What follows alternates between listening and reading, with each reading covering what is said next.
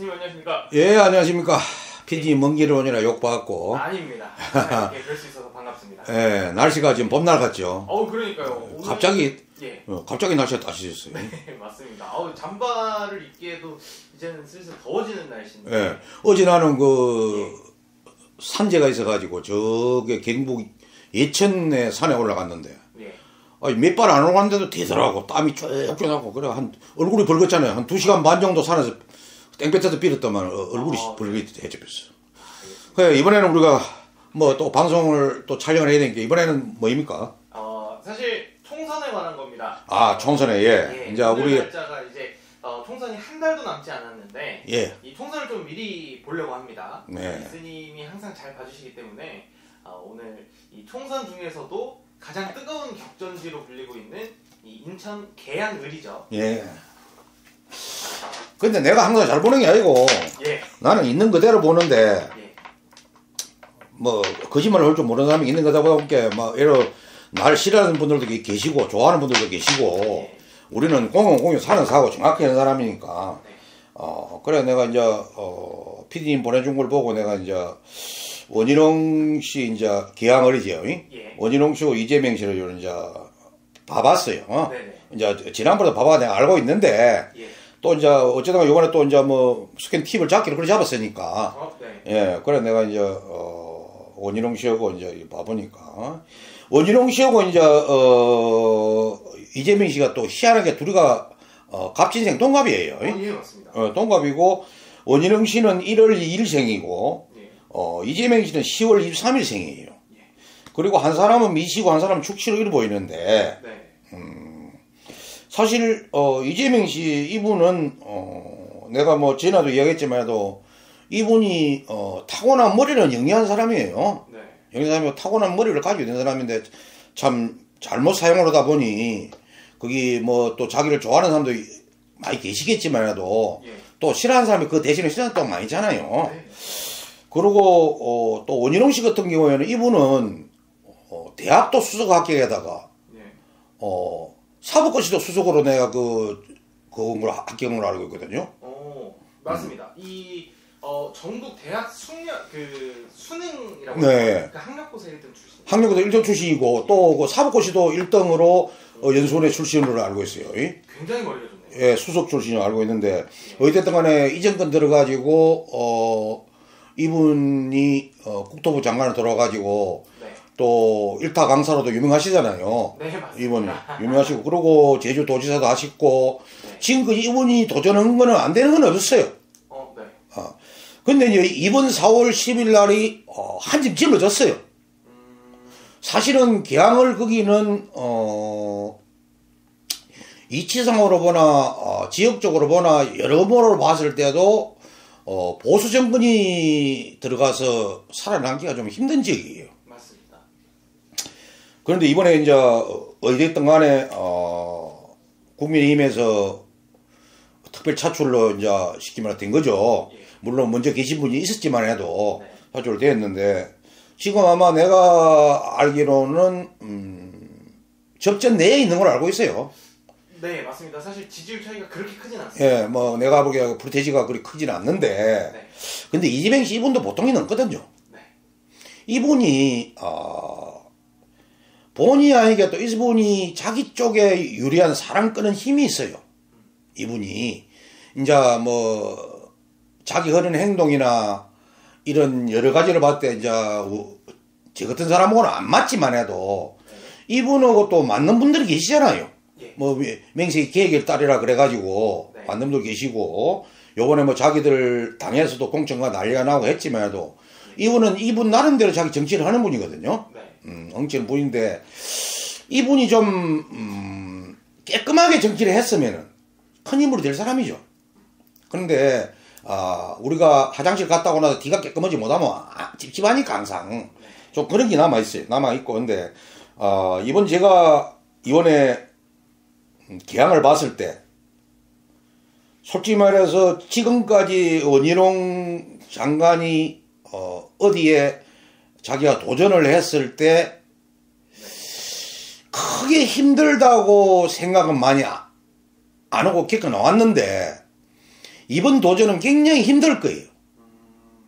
왜냐 뭐 우리가 그 빼골이라 그래가지고 골수에 맺힌 거라는 이, 이 말이 있는 거거든요. 네.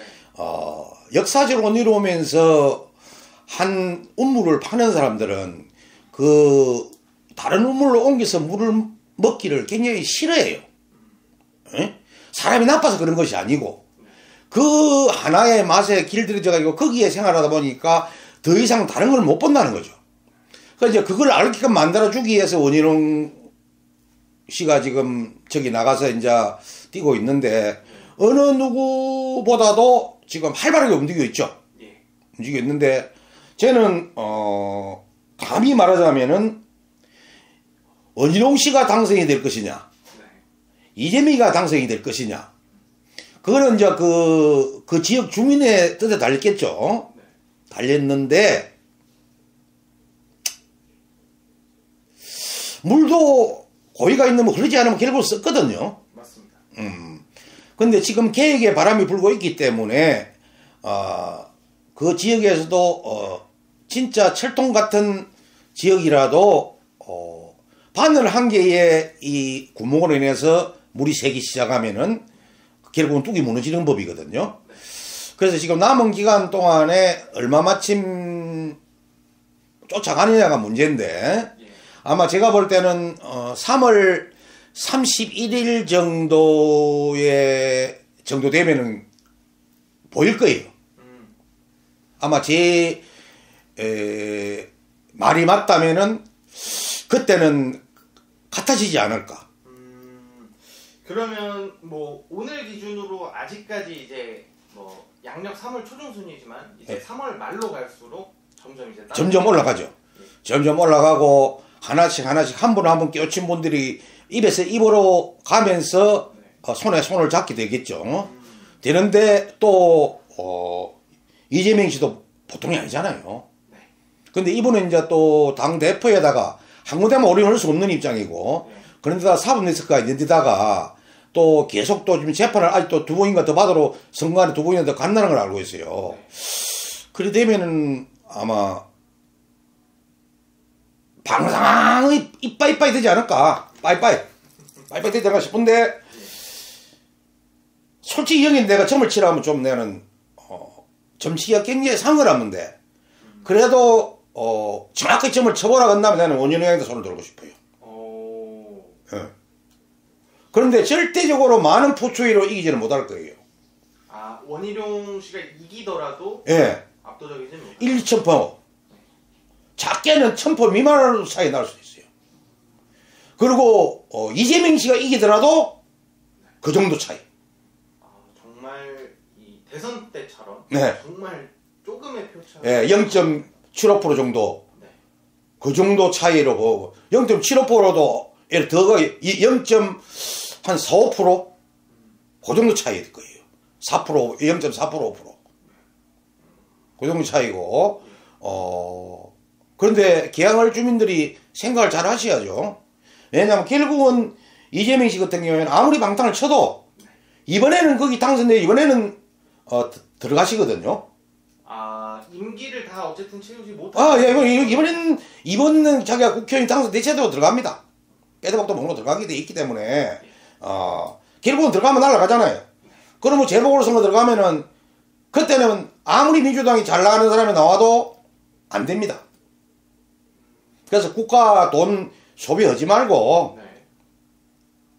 안 됐지만 해도 마음을 뭉치셨으면 좋겠다. 저는 그렇게 생각하고, 어, 나는 이재명 씨 이분이, 어, 되기를 바래요. 솔직히 말해서, 원인홍 씨는 떨어져도 자기 갈 자리가 계신 분이니까, 네. 음, 아, 국가 일을 하면 되니까. 네. 내가 전에 한번 이야기 해줬죠. 네. 원인홍 씨가 안 나오고 국무총리로 갔으면 좋겠다고 내 이야기를 한번 했었잖아요. 맞습니다. 이전에 예. 원희룡 사주를 따로 보실 때. 네, 보실 때 내가 원인홍 그래서 원인홍 씨가 만약에 진다면 이분은 분명히 차기 어, 국무총리로 가거든요. 네.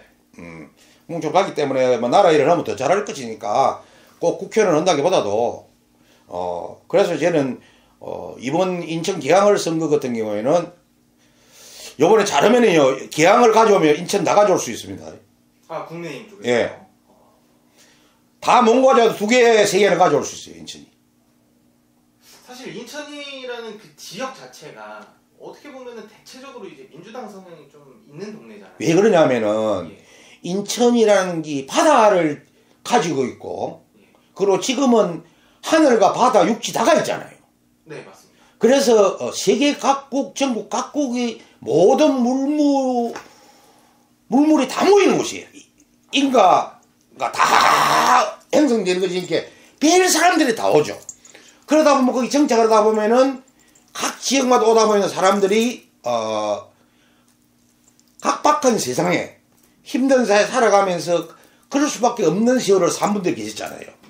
그런 분들은 어 지난 앞전에 어 보수 정권들이 잘한 정권들이 있다고 소리를 많이 못- 말을 못 하잖아요. 네. 솔직히 말해서 쟤는 뭐 어, 이승만 대통령하고 박정희 대통령은 나는 이승만은 건국 대통령이고 박정희 대통령은 오늘날 우리나라를 이렇게 만들어준 뭐다 공과 가는 있겠지만 공간은 있겠지만 해도 어그 외에 두분 외에는 솔직히 에, 보수 정권의 대통령이 제대로 어 추대받을 만한 대통령들이 안 계셨잖아요. 그런데 이제 민주당에서는 유일하게 아 어쨌든 간에 김대중 대통령 분이 계셨고 네. 그도 이제 또 노무현 대통령이 계셨고 원래 또 김영삼이 3당 김영삼 대통령께서 3당을 했지만 이분도 원래 민주 계열이잖아요. 그렇죠. 그쪽- 따지고 보면 세 분이에요. 네. 따지고 보면 자기 보면 세 분이기 때문에 지금 그런데 이제 어 요 두 분이 하고 이제 문재인 대통령이 왔는데 지금은 지행이 여야로 바뀐 게 좌우로 바뀐 것이 아니고요. 음, 아주 이상하게 바뀌어 버렸어요 지금. 나중에 내가 다음에 이, 이- 그 부분을 이야기할 때가 있을 건데 그래서 이번 같은 경우에는 어 제가 봤을 때 아, 두 분이 방상방상하고 이빠이 이빠이 한 점을 졌는데 마지막 깃발은 원희룡 장관이 들지 않을까 싶은데 그렇다고 100% 제가 장담은 못 하겠습니다. 왜? 지금 사주를 딱 나눠 보면 또 어, 이재명 대표께서도 안 된다는 보장이 없거든요. 대해 가지고 진영 가더라도 이번은 되는 쪽으로 또 나와 있고 원희룡 장관도 된다고 나와 있거든요. 그러면 누가 돼도 이상하지 않다는 이상하지 않죠. 사주상으로 봤을 때. 예, 사회장관 누가 봐도 이상하지 않죠. 만약에 이재명 대표님께서 어 저분이 옛날 민주당의 정치식으로 했다면은 100% 이분 되죠. 오진욱 씨부터 가죠. 근데 지금 너무 요번에 어 공천 받은 거 많았었고 너무 또 어, 사목선들을 많이 보냈잖아요. 그쵸 사실 뭐 비명 행사라는 얘기도 예, 비명 행사 바로 했잖아요, 이번에. 네. 예, 그래서 어, 그 부분에서 좀 이분이 이번에 마이너스 좀 많지 않을까. 그래서 뭐 일든지 열심히 쌓아 보시고 예. 이재명 씨는 어, 운동도 좀 많이 하시고 맛있는 거 좀 많이 사주시고 당 대표시니까 뭐 대표를 허, 허, 하실 날도 그리 많지는 뭐 몇 개월 남지도 않았습니다. 남지도 않았고 만약에 야당이 패하면은 책임져야 되잖아요. 그쵸 사실 어 한동훈 장관 그 한동훈 비대위원장이 됐든 이재명 대표가 됐든 지는 쪽 지는 조금 무조건 책임져야죠. 지 저요. 네. 어. 예를 들어서 국회의원 되시더라도 당 대표는 짐을 그만 두셔야 되니까. 네. 그쵸. 그만 두시고, 농, 끄시고, 그러고 나면 이제 도시 재판이 결과는 하루하루 이제 다가오니까 예. 일단 그 앞에 들어가서 행을 받은 사람들이 있잖아요. 다 연관돼 있으니까. 네. 어, 그래서 어, 건강 잘 챙기시라고 제가 말씀드리겠습니다.